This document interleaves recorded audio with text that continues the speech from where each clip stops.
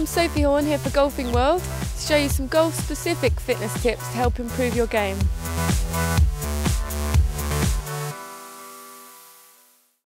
This exercise is the golf swing dumbbell rotation, which is going to help strengthen and stretch our core muscles, which are really imperative in the golf swing.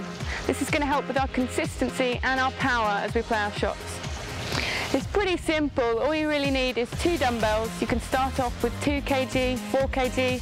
Obviously work your way up, 6, 8, 10, the better you get. But make sure you don't go too heavy because we're going to lose the posture that's really important in this exercise.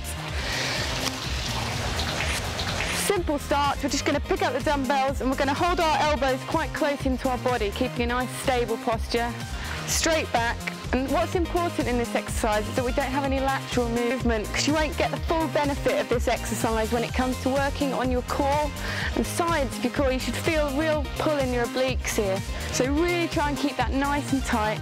15 to 20 reps, two sets, two to three times a week, and you should see a real improvement in your power and consistency.